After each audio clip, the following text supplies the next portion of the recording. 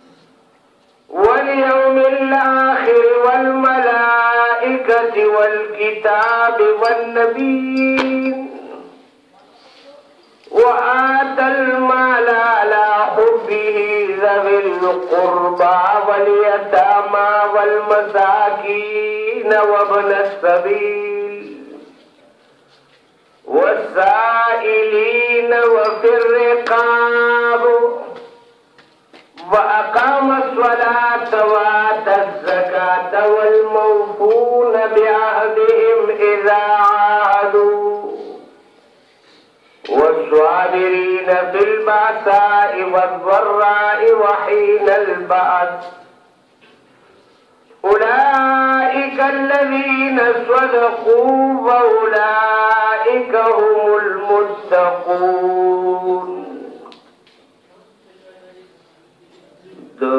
سورة البقرې په مخکې آیاتونو کې بیګاني درس کې د حرام سیزونو بیان وشو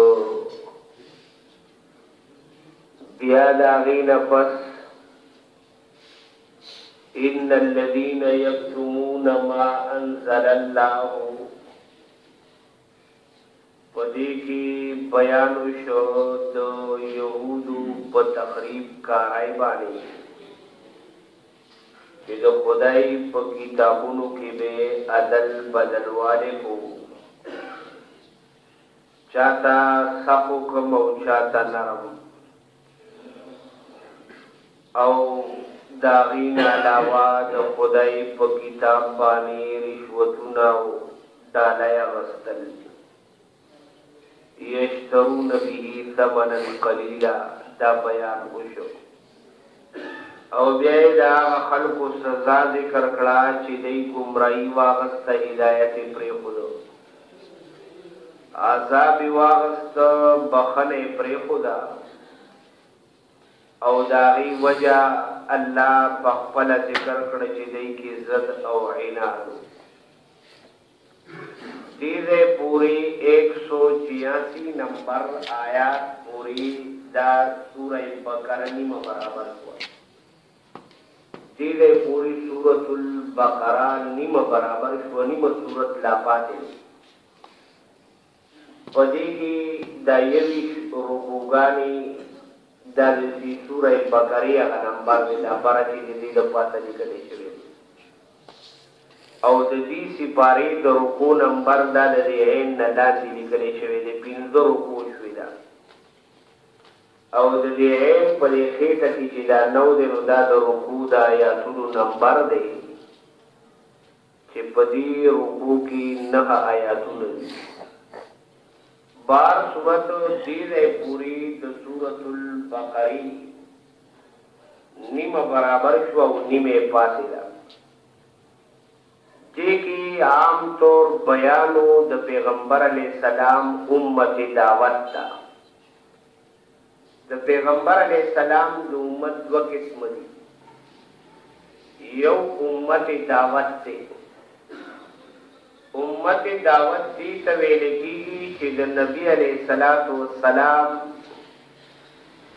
د نبوت نه کوم خلک منکر وو چې دا نه منو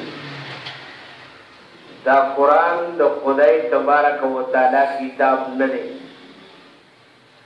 په دې کې امت دعوت ته بیان و چې دا درې طبقې وي، مشرکین عرب، یهود او نصوارا. دلته کې دا امت دعوت او زیات تور زور کتا سو په دې سوره بقره نیمه کې ولیدو نو دا تقریبا په بنی اسرایلو باندی زیات بحث وشو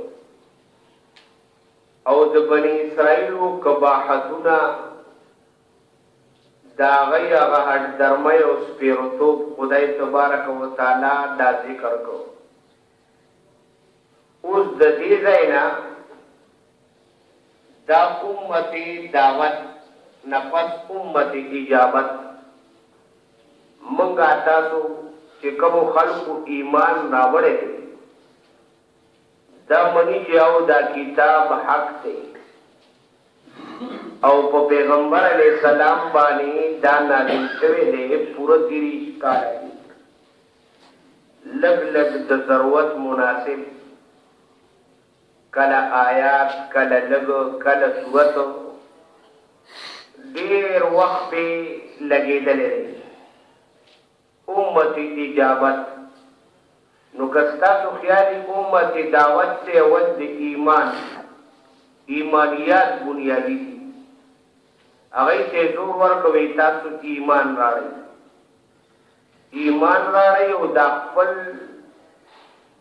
په دی دین باندی او په دی یهودیت او نصریانیت باندی چی نازیږی دا پریږدی دی پیغمبر باندی اوس ایمان راړی تقریبا دی ځای پوری ټک باس مباحثه وشوه اوس د دې ځای نه د بقایه نیم سوره بقره کې امت اجابت دی نو امت اجابت ته خو الله تعالی ایمان ورکړی دی هر سړی مسلمان دی کلمه یې ویلې ده لا اله الا الله محمد رسول الله نو دی ته اوس وایي په دې خپل عباداتو باندې نظر وساتئ معاملاتو باندې نظر وساتئ. عبادت خو دې ته ویل کیږي پنځه ټیمه سړی لمونځ کوي د کال کې روژه ده د زکات په موسم کې د وسو د طاقت خاوند هغه زکات ورکوي دغه رنګ حج کوي دا عبادات دي یو معاملات دي معاملات دي ته ویل کیږي چې سړی به معامله څنګه کوي اغستل به څنګه کوي خرصول به څنګه کوي دا رنګي دا معاملات دک کې ته ویل کیږي به او شرا خرید او پیرو دارنګه چې کوم تلو معامله دې ته ویل کیږي دا شی مې دله درکړو دا شی مې دنه واغستو کویدن واده دارنګه دا ټول معاملاتو کې راځي او یو معاشرات چې په دې محله کې، کلي، کور کې ته پاتې کېږې، نو د رور سره به څنګه تعلق ساتې؟ د خور سره به څنګه تعلق ساتې؟ د محلې والا سره به څنګه تعلق ساتې؟ کلیوالو سره به څنګه تعلق ساتې؟ خپلوانو به سره به څه چل کې؟ پردو سره به څه چل کې؟ دې ته ویل کېږي معاشره.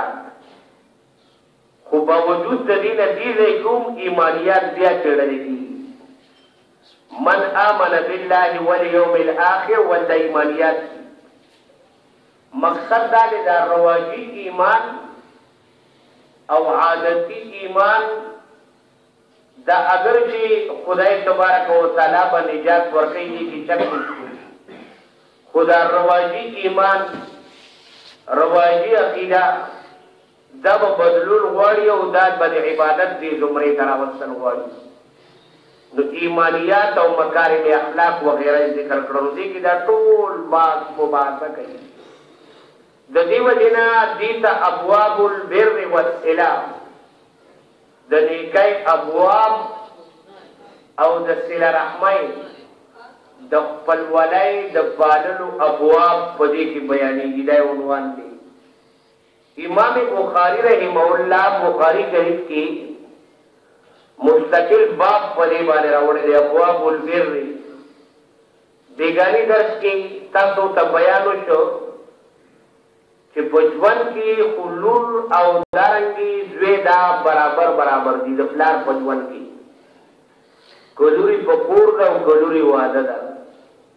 څنګه چې د زوی خیر خبر اخلي دغه رنګې به د واده کړي لور هم خبر اخلي د پلار په ژوند کې د لور او زوی کې فرق نشته که یو سړی په ژوند کې لور او زوی کې فرق وکړو دی ګناهګار دی دا فرق هله دی چه کله دا پلار وفات شو نو شریعت فرق کړی دی چه جنای لا سنگل حصہ دا درې لاک روپۍ دی نو لاک د جنۍ دی او دوه لاک روپۍ دا د الک رسی دا فرق شریعت کړی دی او تاسو ته دې وجه ما وی چې په جنۍ باندې معاش نشته ګټل د کور دا رنګې چې کوم دی نو په افرادو باندې خرج لور باندې به خرج دا نه کوي پلار یې شته په زوی باندې به خرج دا نه کوي پلار یې شته په دې باندې د معاش ګټل نشته دا نو کرای په زنانه نشته د معاش دا په نارینه باندې چې د هر ځای نه یې پیدا کوي، محنت او مشقت په کوي او افرادو له به یې پیدا کوي. د دې وجې نه شریعت د دې خیال ساتلی دی او د رور خیال یعنې د زوی خیال یې وساته خو ده ته یې نورې ډیوټۍ حواله کړې چې پلار دې وفات شوی دی د خیندو به خیال کې دا نه چې ستا په بادشاهت کې د خیندو نه د د داجی او د بیبې کور پاتې شي د هغې په خیال تل حصه زیاته درکړې ده ډبله حصه لکه څنګه چې د خپلو نورو خیر خبر اخلي نو د اختر یو قدر په نورو موقعو کې به د خویندو هم چې کوم دی نو خبره اخیستل کېږي ګوري څومره ښکلی شریعت خدای را کړی دی د هر طرف ته خیال ساتلی دی او ټول نظام یې جوړ کړی دی که چېرې په دې باندې انسان عمل وکړي نو یقینا دا دنیا بیا جنت دی ښا الله تعالی دې موږ او تاسو له د عمل کولو توفیق راکړي نو عرض مې دا کو چې په دې کې ابواب البر والصلة د صلې او دارنګې د صله رحمۍ او دارنګې د نیکۍ هغه ابواب بیانېږي اوس راځو اصلې مسلې ته دې آیات کې ددې شأن نزول چې څه ته ویل کیږي هغه دا دی، مخکې تاسو بیان وشو چې کله جناب رسول پاک علیه الصلوة والسلام د بیت المقدس نه د خدای په نوم باندې او په حکم باندې مخ راواړو قبلې ته، نو د یهود او نسواراو دې خبرې له ډېر لوی رنګ ورکړ. لارو کوڅو کې به دا تذکرې وي. ذهن به یې خلکو له جوړو وي، دی څنګه ومنو؟ وي تاسو موږ ته ګناه کوئ. وي ده دا څه ټوکې شروع کړي دي. کله خلک دې طرف ته کوي او کله خلکو ته وایي چې دې طرف ته مخ راواړوئ.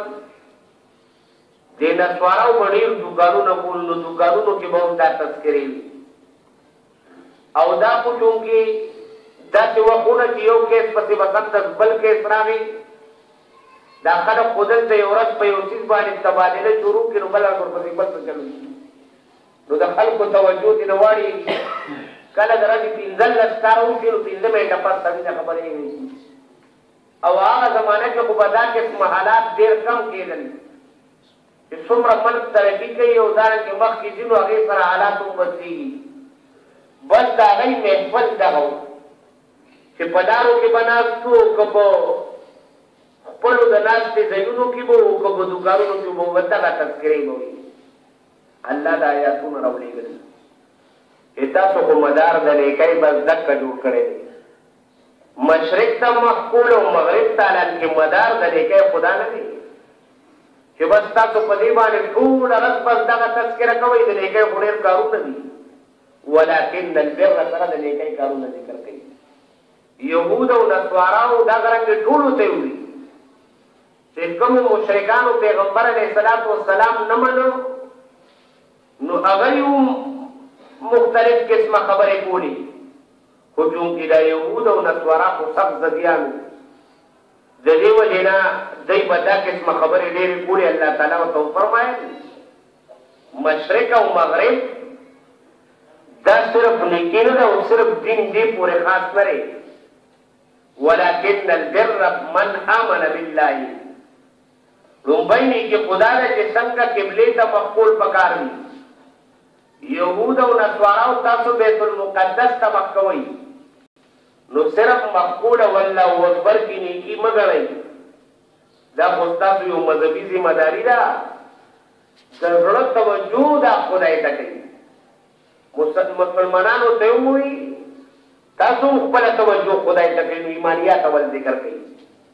ولکن البر من آمن بالله او دا پنځه دي ړومبی نمبر دا چې د خدای په ذات او صفاتو باندې سړی کلکه عقیده وساتي. خدای تبارک و تعالی ذات یو دی، یک یوازې دا ټوله دنیا چلوي او صفاتو باندې هم خالق دی الله تعالی، رازق دی، دا یې من آمن بالله کې ذکر کړو. دویم نمبر یو والیوم الاخر د اخرت ورځ منل نو الله تعالی يهود او نصاراو ته چې دوی به چې میګویانې کولې چې صرف دا خو نه ده قبلې ته مخ کول او دارنګې مشرق ته مخ کول پرز د آخرت باندې ایمان پرز د آخرت باندې ایمان دارې چې او زما د صبر کوم زما د جنازې کټ کوم چتیږي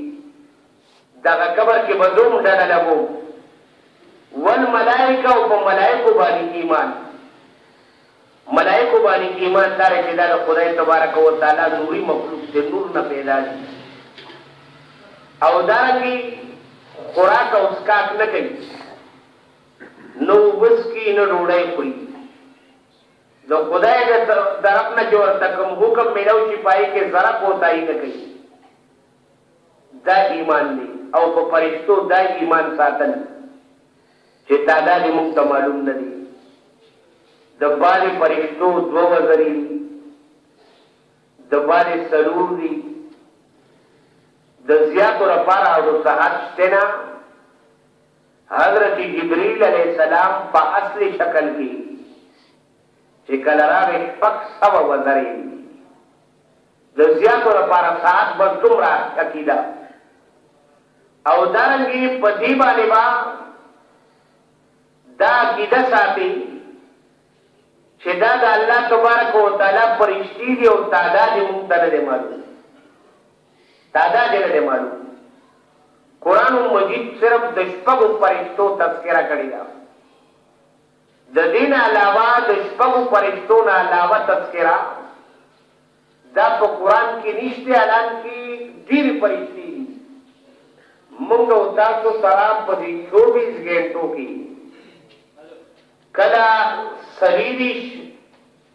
او کله پیندیش د دې تعداد کې دا پرښتې هر تن سره په دې 24 غنټو کې هر تن سره د پرښتو تعداد دا د 24 د واخلې تر 25 پورې مختلفې ډیوټۍ دي لیکل کوي څوک څوک څه کوي ټیمونه یې بدلیږي را بدلیږي په دې باندې به سړی اجمالي عقیده ساتي والکتاب د خدای په کتابونو باندې به هم عقیده ساتي قرآن مجید دی دویم نمبر مرتبه دا تورات ته حاصله ده دریم نمبر مرتبه ده انجیل ته حاصله ده او څلورم نمبر کې زبور ته او دې کتابونو باندې ایمان او عقیده ده چې دا د خدای کتابونه دي حق دي زمون په ایمان دي په ټولو کتابونو باندې د دې نه علاوه صحیفې دي صحیفې دي هغه صحیفو باندې سبانه دي باغې باندې ابراهيم عليه السلام باندې په شیث علیه السلام باندې دارنګه نورو انبیاو باندې هغه صحیفې او پاڼې نازلې شوې دي په ټولو زمونږ عقیده ده چې هغه د خدای د طرف نه دي والنبیین په پیغمبرانو باندې قران مجید کې صرف د 25 پیغمبرانو تذکرہ ده د دین علاوه انبیاء کرام علیه السلام ډیر دي چې تذکره یې په قرآن کې نشته خو ایمان به موږ په ټولو انبیاء کرام علیه الصلاة والسلام باندې ساتو چې ټول د خدای حق پیغمبران دي دوه روایت لري یو روایت کې دي چې یو لاک څلېري زره او بل روایت کې دي چې دوه لاکه څلېري زره پیغمبران خدای را لېږلي خو دا دواړه روایات د سند په حوالې سره لږ کمزوري دي، نو موږ ته اجمالي بس عقیدت اکل عرب په پرتي نو تعداد ته نو ضرورت نشته، بس زموږ په کلهم پیغمبرانو باندې دا عقیده ده چې دا د خدای د طرف نه راغلي دي او خپلو خپلو امتونو ته یې ښه ځان ستړی کړی دی. بله پیغمبران به داسې وو چې مثال طور سره یو محله دوه محلو له به وو بعضې به داسې وو چې کلي له به وو بعضې به داسې وو چې دوه دریو کلو کې به یې کار کوو مختلف مختلف بعضې لا جناب رسول پاک علیه الصلاة والسلام دا اخیری نبی دې زمونږ عقیده دا ده او تر قیامت راځي پوری د انسانانو د پیریانو د نارینه وو او د زنانه وو د ټولو پیغمبر جناب رسول پاک علیه السلام دی دا عقیده ده راشي اوس وګورئ یهودو خو مشرق او مغرب له خو توجه ورکړې وه بعض خلک یو خبره راونی وي او هغه خبره سمه چار وي الان کې هغه خبره صرف د نیکۍ نیم د نیکۍ خو ډېر غټ کارونه دي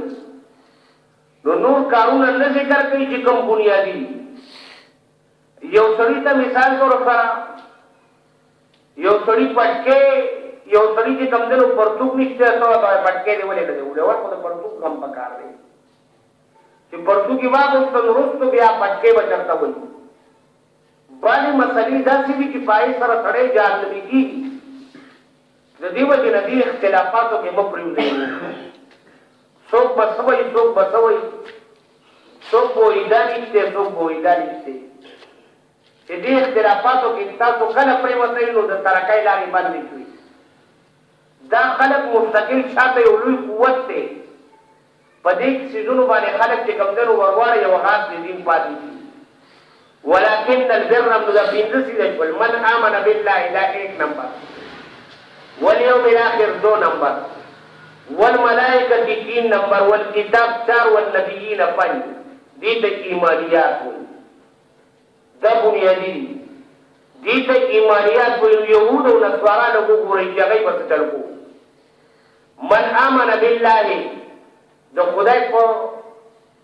ذات باندی ایمان لرو من آمن بالله والیوم الاخر خو د خدای په ذات باندی به داسی ایمان لرو چه د خپل مرضای مطابق چه سبا و تړلی بس هغه کارونه به کول په خپل باندی به وی چه او خدای منو خو د عمل نه به دا معلومیدا چي دی خدای نه مني والیوم الاخر او پرز د اخرت باندي پرز د اخرت هم د دی صحیح ایمان نو که پرز د اخرت د دی ایمان وی نو دی به انبیا قتلولی سوره سوره انبیا دی وجلو او چې کوم پیغمبران به دی پښول سزای کې به پناه واغسته بوټي کې یا بل ځای کي ډډ ونه به وه په هغي باندي به هم اکتفا نه کوله هغه پسي به هغه ونه ريبله نو د ايمان ددي دا حال و من آمن بالله واليوم الاخر والملائکه او فرشتي تاسو که خيال وي نو د فرشتو متعلق به زموږ وي حضرت جبرائیل علیه السلام سره ویللی دی مخکې بیان شوی دی که نه دی وې که چرې دا وحی پیغمبر باندې حضرت میکائیل لاړه نو وې بیا به مو منلی وی نو د خدای په ذات باندې د ایمان دا حال و په آخرت باندې دا حال و او په ملائکو باندې دا والکتاب او د کتابونو متعلق هم دا عقیده وه اول خو قرآن نه منو یهودو به تورات یهودو به انجیل نه منه او انجیل به یهودو نه منه او تورات به نصاراو نه منه په لنه څه خبره باندې اختلافات نو کتابونو باندې عمل دا و والنبیین او پیغمبرانو سره خو څه چې څه کول هغه یې کړي دي یهودو حضرت موسی علیه السلام ته وی اذهب انت وربک فقاتلا ان هؤلاء قاعدون وې ځه ته پوه شه او ستا رب دې پوه شي دواړه جنګېږئ موږ په دې کې نه یو چې تا سره چې کوم دی نو د ستا په ملګرتیا کې د دښمن سره جګړه وکړو دغه رنګې چې کوم دی نو د ایمان دا حال و نصواراو به حضرت عیسی علیه السلام د خدای زوی ګڼو وی دا د خدای زوی دی کله به وی دا د خدای پارټنر دی او د کرنګي يهودو دا د عزير عليه السلام وی دا د خدای زوی دی نو دا ټول خراب عقیدې او تذکره بس صرف په دې باندې و چې نن پیغمبر دا چلو کو نن پیغمبر دا چلو کو دوره وخی مشرق ته مخ کړو بیت المقدس ته اوس څه کلو شو وی مغرب ته مخ کدا تذکره نو خدای تبارک و تعالی و تو فرمایل ولکن البر د نیکه ډیر سونه دي او دا رنګي چې کم دنو د خبرو او سرو کزان مشغولوي نو په دې باندې مشغول کوي کنه من امن بالله واليوم الاخر والملائکه والکتاب والنبیین او حال دا مخکې بیان کې شوی دی وی مونږ به خدای صرف دومره عذابوی چه څو ورځی مو د سخی عبادت کړی دی یهودو به دا وی څلویښت ورځی مو عبادت کړی دی نو وی خدای پاک به مو څلویښت ورځی جهنم کی داخل کی وی بیا به مونږ د پاره عذاب نه وی مقصد دا دی دا څلویښت ورځی دی ته اسانه دی دغه رنګی چه کوم دی نو مختلف قسمه خبری به کولی نو د سخي عبادت دا ایمان دی که دا کفر دی چې سړی خدای پرېږدي او د سخي عبادت نو من امن بالله باندې هم ایمان دی والیوم الاخر د آخرت پر ورځ باندې هم ایمان نو په ملایکو باندې هم ایمان نو په کتابونو هم نو والنبیین او خپلې هم خرابې وي حضرت عیسی علیه السلام ته به یهود ولد الزنا وي وی دا د زنا پیدا دی نعوذ بالله من ذالک نو ولکن البر سره الله تعالی فرمایل د الله بندګانو ليس البر ان تولوا نیکی دا نه ده د نیکۍ مدار دا نه دی د نیکۍ ډېر څیزونه دي تاسو صرف نیکي دي ته وایي چې مشرق ته مخ کوي یا مغرب ته مخ کوي ولکن البر من آمن بالله نیکي دا ده چې د خدای په ذات کلک عقیده وساتي اخرت ومنی ملائکو باندی ایمان ساتل دی په کتابونو باندی په انبیاو باندی دا ایمانیات دی ددی ایمانیاتو نه رستو وآت المال علی حبه ذوی القربی یو خو ایمانیات دی دویم نمبر کار دا چې هغه آت المال علی حبه چې کوم مال او دولت انسان ته الله ورکړی دی سره د دې نه چې د دې مال سره د انسان محبت دی مال ته مال ځکه ویل کېږي یمین الیه القلب چې دې ته زړه میلان کوي نو مال ته مال ځکه ویل کېږي دا نشته چې دا سړی پې مین نه دی او دا سړی پې مین دی مال ته طبعا طور د انسان زړه میلان کوي نو الله تعالی وفرمایل اګر که ستاسو ورسره محبت دی او د دې نه یریږئ چې غریب به شم دا ټولې مسلې د ته مخې ته دي خو آت المال علی حبه نیکی دا ده چې یو سړی د خپل مال نه سره د دې نه چې مال سره محبت دی خو دی دا محبوب مال د خدای د رضا دپاره ورکوي اوس چاته به یې ورکړې نو هغه ذکر کوي ذوی القربی ول خپلوان دي او به ګورې ستا په ټبر کې ستا په خاندان کې چې کوم خپلوان دي نو اول حقدار هغه دي ذوی القربی خپل خپلوان نو خپل خپلوان رستو آتا زکات راغلی دی ګوره دا زکات په سره نه کوي دا د صدقات نافله بیان دی آت المال وروسته آت الزکات وروسته راروان دی ورپسې یو سړي له خدای پاک مال ورکړی دی نو مال او دولت ورڅخه دی نو زکات نه هسې خور له پیسې ورکړه دارنګه رور دی دی د زکات پیسی نه دک کسی ولا ورکا دارنګه پپو دی دا د پلار خور دی دا د مور خور دی دا دا ټول رشتي دي زویل قربا د تر زامن دي دي ماما زامن دي غریبانان دي ذوی القربی اول د خپلو خپلوانو حق دی نو ایمان تیکی دی ته وایی چی یو سړی مال ورکوی سره د محبت د مال نه چی مال سره یې محبت دی خو سره د دې نه محبت یې ورسره هم ډیر دی ړی نه کیږي چی دا ورکم خو ځان باندې ډیر لوډ راولي او بوج راولي ذوی القربی هم د خپلو خپلوانو خیال ساتی نو دا نیکی ده قربی خپلو خپلوانو ته ویل کیږي. والیتامی، دغه رنګه یتیمان، یتیم هغه تن ته ویل کیږي چې نابالغ یې او پلار یې وفات شي. ستا په ټبر کې یتیم دی، خو صرف پلار یې وفات شوی دی، خو مال دولت یې ورته نه دی پرېښودی.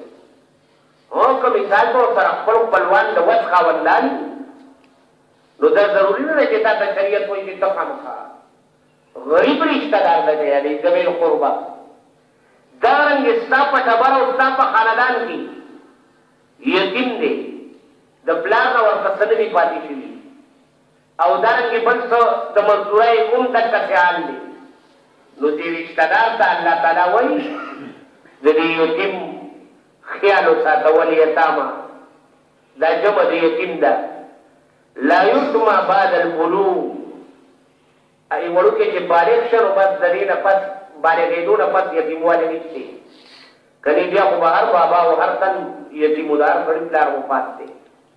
نو لا یتم بعد البلوغ د بالغ کېدو نه پس یتیموالی نشته نو د خپل ټبر د یتیمانانو خیال به ساتي که خپل ټبر کې دې نه وي یتیمانان نو بیا د نورو یتیمانانو خیال به ساتي حدیث کې راځي وایي چې کوم یو سړي د شفقت او مینې لپاره د یتیم په سر باندې لاس راکاږو او د لاس د لاندې څومره ویښته رالل د دې هر ویښته په بدله کې خدای پاک دله نیکي ورکوي او دارنګي دې دا تصور کې چې دا یو بچی دی د مور نه د پلار نه پاتې شوی دی وسو طاقت یې نشته د تعلیم په کورنۍ کې داسې کسان دي چې هغوی له خدای وس او طاقت ورکړی دی، دنیايي تعلیم پرې وکړه، تربیت خیال یې وساته او قابل دی، ته پوهېږې چې څه استعداد دی خو یتیم دی، خیال یې وساته، دا ټول صدقات جاریه او نافلات دي، داسې نه ده چې دنیايي تعلیم دې پرې وکړ نو پیسې دې ضایع شوې، که دنیايي تعلیم دې پرې وکړ که دیني تعلیم دې پرې وکړ، دا یو ډیره ښه طریقه ده ولی یتاما نو اول د خپل ټبر د یتیمانانو خیال بیا که خپل ټبر کې نی نو د نورو یتیمانانو محله کې به بیا ګوري که محله کې نی نو جوخته جوخته محلو کې ټول کلی کې که په ټول کلی کې د تم ملاو نشنو بیا به بل کلی ته وځي نو اتمان کې دن ناول کوټه شو او ټوپۍ دا وغیره اله به بیا روستو په مخه باندې ځې ول یتاما دغه رنګې ټبر کې دې خپلان نیسته غریبانان ټول مالدار دي نو بیا به وګورې چې نورو خاندانونو کې کم غریبانان دي نو هغه سره به دک سه تعاون د صدقات مالیه د صدقات نافله په زمره کې نو وی فرمایل آت المال علی حبه نو کامل انسان دا دی، د نېکۍ خاوند دا دی، چې د خپل مال نه ورکوي سره د محبت د مال نه خپلو خپلوانو ته، والیتامی یتیمانانو ته، والمساکین او مسکین ته. مسکین دې ته ویل کېږي، مساکین جمع د مسکین ده، چې دی صاحب نصاب نه دی. مقصد دا دی، چې دڅکه دومره پیسې نشته، چې ساړې باون تولې چاندي پرې کېږي. تقریبا سړی باوت سولو چاندی قیمت دغه تقریبا څه پندره سوله هزاره اندازه تن به دغه جوړیږی ددی قیمت مالک نه دی بس صرف دومره راځی چی خوری او څکی او دارنګی جبیر خور هم نه دی لوپر هم نه دی والمساکین نو بیا شریعت خپل ته ویلی دی چی ددی سړی هم خیال وساته ځکه صرف خوراک خو نه دی نوم د ده ضروریات دي نو شریعت وایي چې د ده خیال وساته، والمساکین، خو په دې نیت باندې چې الله مانه رضا کړي، والمساکین، مساکینو، وابن السبیل، د لارې زوی، ابن السبیل خپله مانا ده، دې نه مراد ابن عباس صاحب وایي مېلمه دی، مثال طور سره یو سړی دی مېلمه دی راغلی دی او ته پرې پوه شوې یې په خپله اظهار وکړ چې یاره بټوه رانه چا پټه کړه او د شکل نه هم داسې معلومېده نو هغه وخت کې خو رابطې نه وې کم سې کم دومره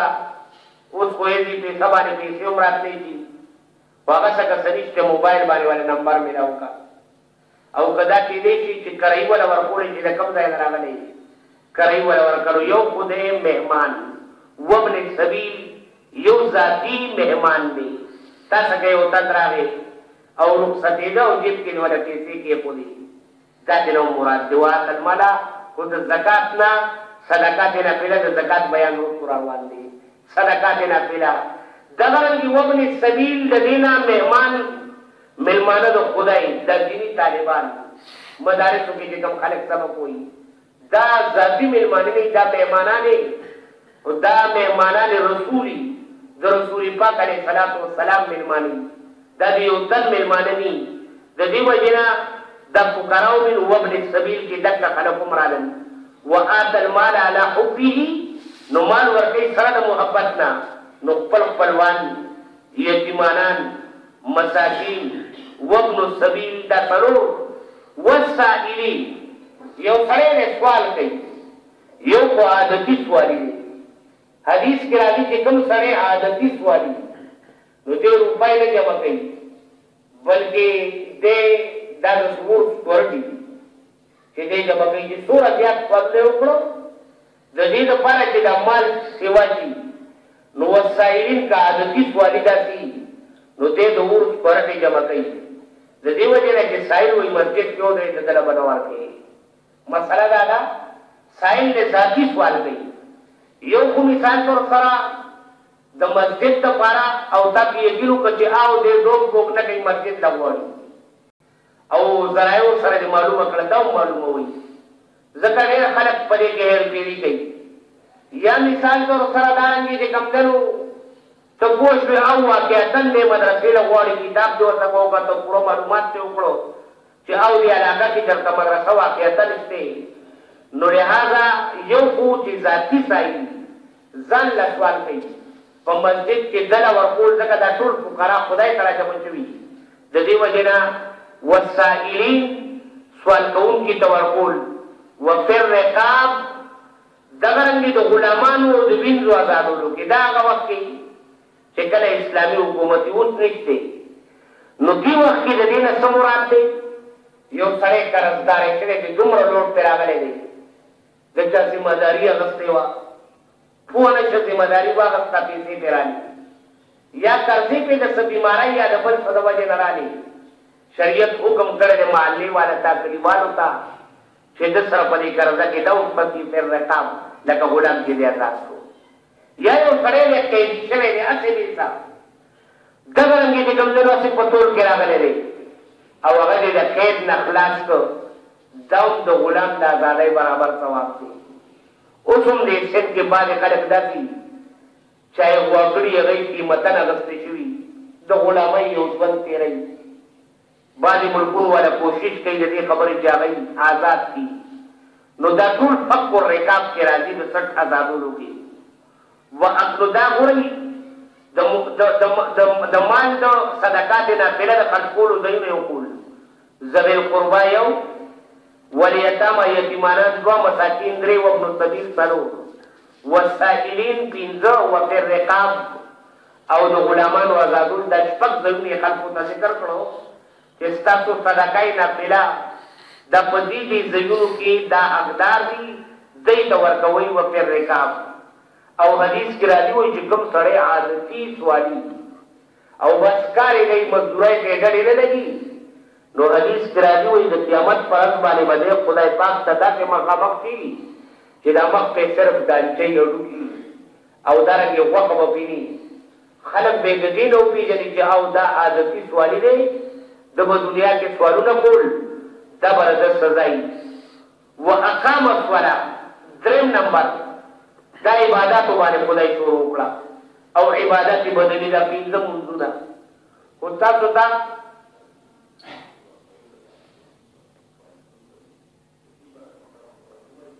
عادتي سوالي له جمعات کې چې مثال تور سره یو سړی ودرېد او دا التناس ته صادره غوړولې دی چې ماله راکړئ او ته ښه پوهېږي چې دی مثال طور سره ضرورتمن هم دی نو عادتي سوالي ته به جومات کې چې کوم دی نو خیرات نه شي ورکولی په کار دا ده چې دی د جومات د حد نه بهر لاره کې کېني او کله خلک وځي لاره کې نو بیا وله ورکولی شي جومات کې دنه نه دي په کار واقام الصلا بل یو دا ده چې مز نو دا یو خو دا پنځه منځونه چې تاسو ته وایم دا فرض دي د دې نه علاوه څلور منځونه د تهجد مونځ د اوابین لمونځ، د اشراق او د چاش لمونځ دا نفلي لمونځونه دي، تهجد په پیغمبر باندې واجب وو، امت باندې واجب نه دي، صفت یې الله کړی دی، تتجافا جنوبهم عن المضاجع چې دوی ډډې لرې کوي د خپلو بسترو نه، کوم بل پړسترې نه پرېږدي خو دی پاڅي نو دا یو ډېر ښه صفت دی اقامو الصلات کې دې ټولو لمونځونو ته اشاره ده وآت الزکات زکات زکات په هر هغه تن باندې لازم دی چې کوم سړی د سړې باون تولې چاندای یا د سړې سر څولې سونې مالک دی او په هغې باندې کال تېر شو، د دې برابر نقدي دوه څکه نغدي پیسې دي، دی به زکات ورکوي، په ده باندې زکات دا واجب دی، لازم او ضروري دی، پۀ دې به زکات ورکوي او د زکات خپل مصارف دي،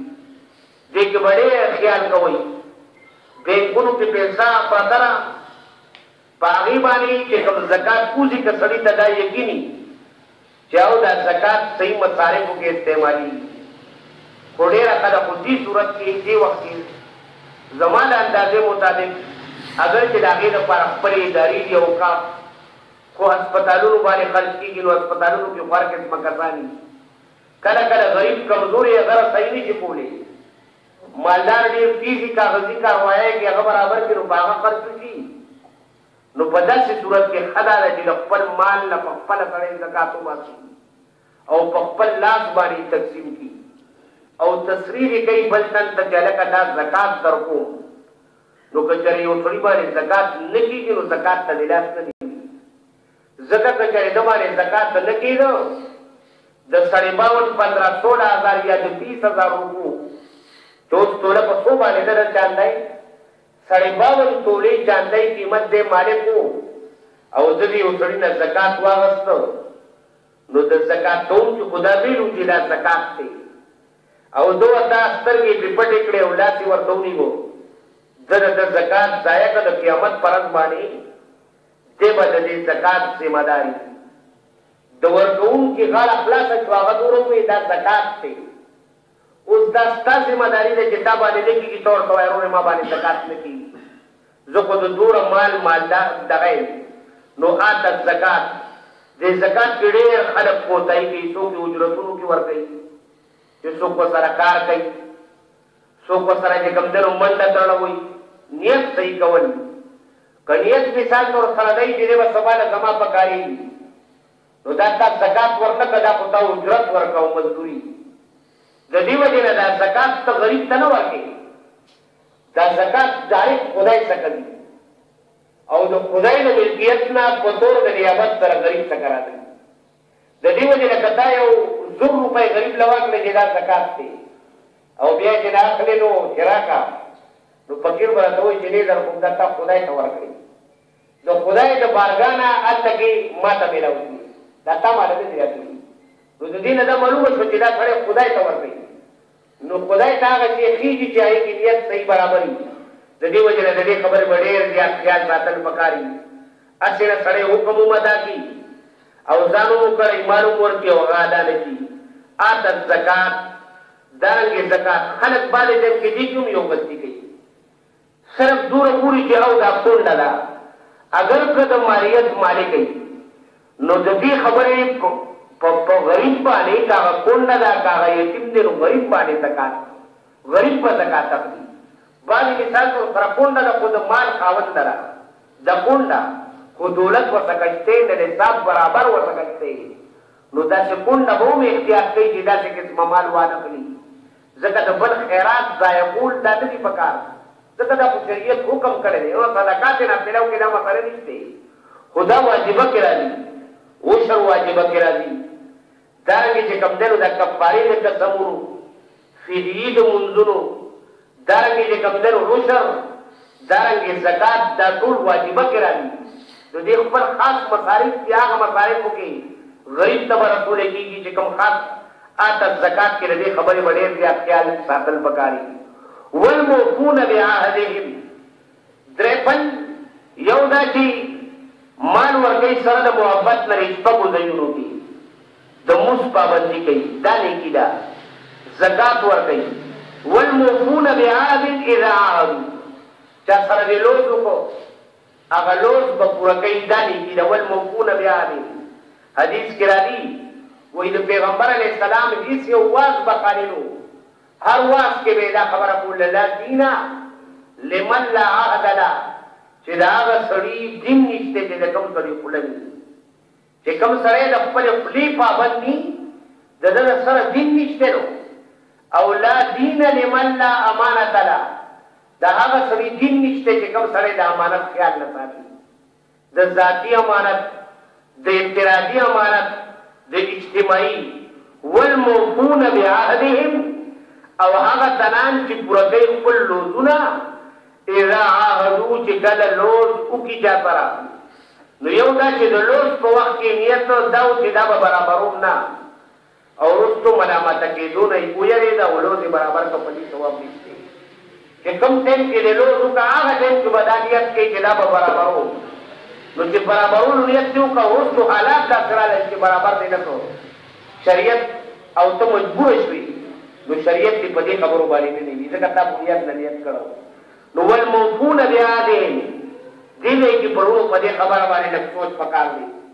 که ما تاسو سره دروغو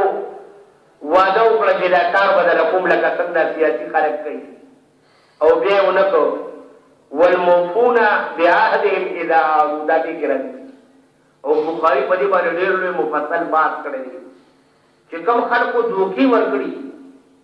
که مثال طور سره ږیره او پټکي سره یې دوکه ورکړي، که ږیرې او پټکي سره یې دوکه نی ورکړې، شکل یې هم خراب دی، خو دوکې ورکړي دي، خلک یې دوکه کړي، الله دې موږ د دې نه بچ کړي. دا یو ډېر نو حدیث کې راځي، وایي په شاته حصه کې به دله یو جنډه اولګولې وي، کوم ځای باندې چې سړی لوی بول کوي، جنډه به پکې خښی او دی دی به خلکو ته د لری نه ښکاری ته به ووایی دا دوکه باز دی غدر یې کړی دی بل به ووایی دوکه باز دی پیغمبران به ومی لویه کې چا چې سپوره لویه جنډه ولاړه وه دوره لوی غدر او دوکه دا د بخاری روایت دی الله تعالی دې موږ او تاسو د دې دروغو د وعدو نه او د دروغو د اعلانونو نه بچ کړي، والموفون بعهدهم اذا عاهدوا، او هغه اتلان چې پوره کوونکي د وعدې چې کله وعده وکړي، والصابرین فی الباساء والضراء، او بیا وفرمایل، والصابرین هغه اتلان چې صبر کوي فی البعث عبدالله ابن مسعود صیب به شاګردانو ته معنی کوله البعث نه به یې فقر اخیست چې سړی په دې خپله غریبۍ صبر وکړي مالي تاوان د باندې راغی په هغې باندې به صبر وکړي وضرا نه مراد مرض دی بیمار شوې صبر وکړه په هغې باندې وحین البعث نه دشمني خوښوله نه خوراله په هغې باندې صبر وکړه، وحين البعث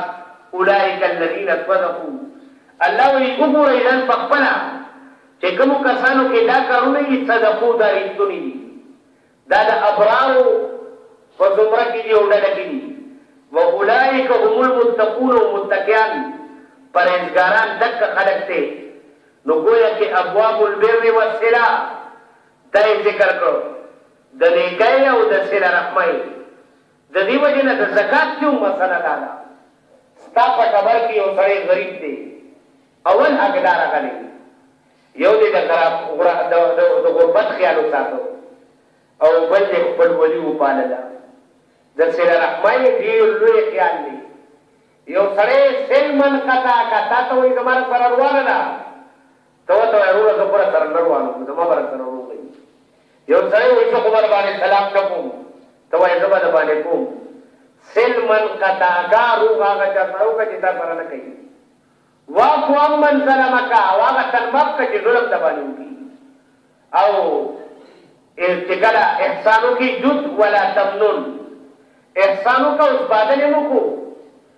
ادعا مې ځنې درکړي دي دا لأن الفائدة الیک ځکه د احسان فایده تا ته ده دا بس تا په کارېږي والضراء حين البعث ګوره د دې صفاتو والا خلکو ته الله تعالی څه وي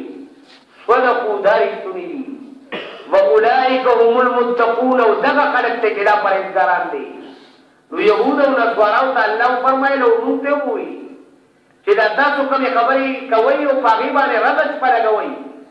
او هغه تذکرې کوئ نو دا څیزونه دي، هر انسان، هر نارینه دې سوچ وکړي، هر زنانه، هر بالغ، که ځوان دی او که بوډا دی، چې آو دا دا کارونه ما کې شته او که نشته، که ني نو د هغې د حاصلولو کوشش دې وکړي او که وي نو الحمدلله دې ووایي، نو ویې فرمایل، لیس البر.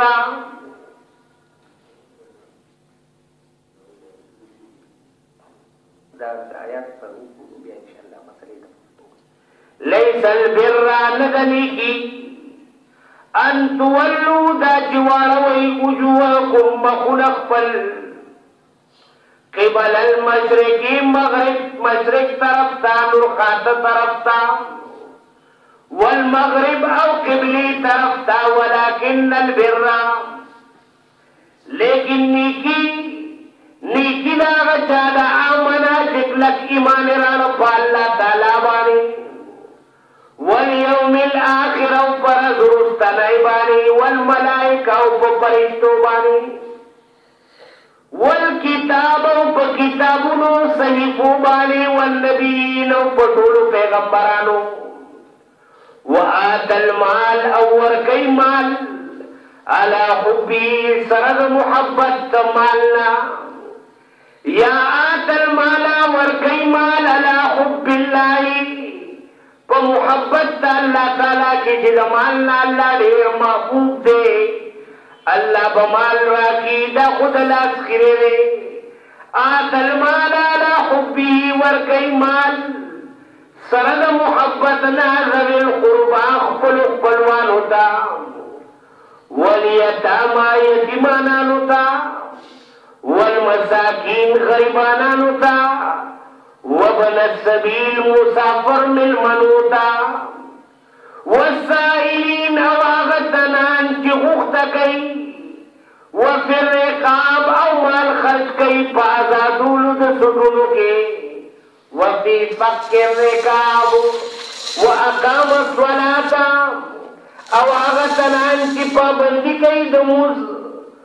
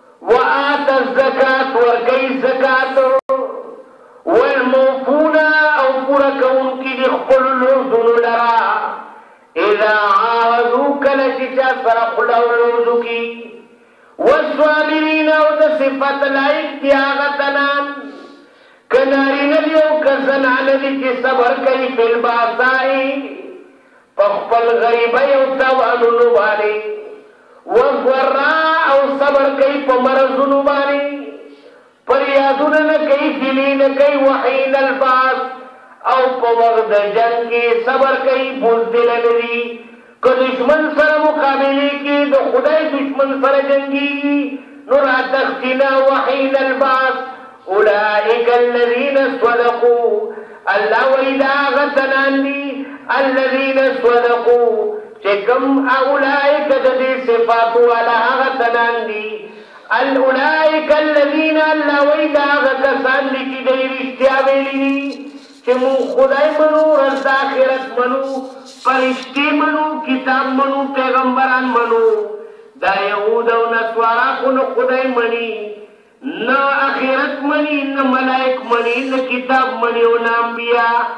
واولئک هم المتقون الله وایی دغه خلک چې دا کارونه کوي مال خرج کوي دارنګې سک منځونه کوي وآت الزکات زکات ورکوي نو دغه خلک هم المتقون وادي پوره کوي صبر کوي نو دا کسان پرهیزګاران دي یو تنو